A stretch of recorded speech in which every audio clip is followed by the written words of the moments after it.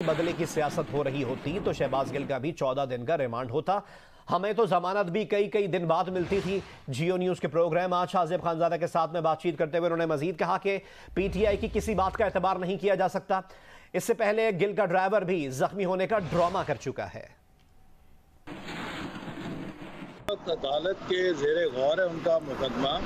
और उनका जो मुआयना किया गया है, मेरे नज़र से जो रिपोर्ट गुजरी है, उसमें डॉक्टर्स ने उन्हें सेहतमंद करार दिया है। कोई ऐसा संगीन आर्जा नहीं।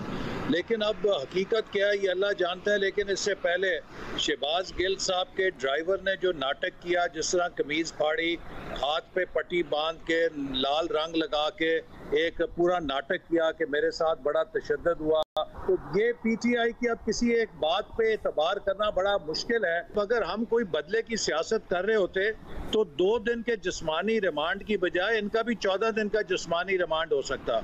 और आप देख लीजिए कि हमें तो अपनी जमानत कराने में भी कितना अरसा महीने साल लग जाते थे। इनको तो चंद दिनों में जमानतें मिल जाती